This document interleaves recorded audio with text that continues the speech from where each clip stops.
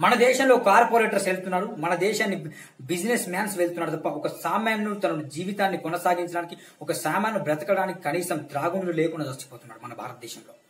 పేదవాళ్ళు పేదవాళ్ళుగానే మిగిలిపోతున్నారు. రోజు కొన్ని వేల మంది పేద పిల్లలు చనిపోతున్నారు. స్ట్రీట్ చిల్డ్రన్ చనిపోతున్నారు. హాస్పిటల్లో సరిగా వైద్యం దొరక చనిపోతున్నారు. గ్రామాల్లో సరిగా రోడ్ లేక చనిపోతున్నారు.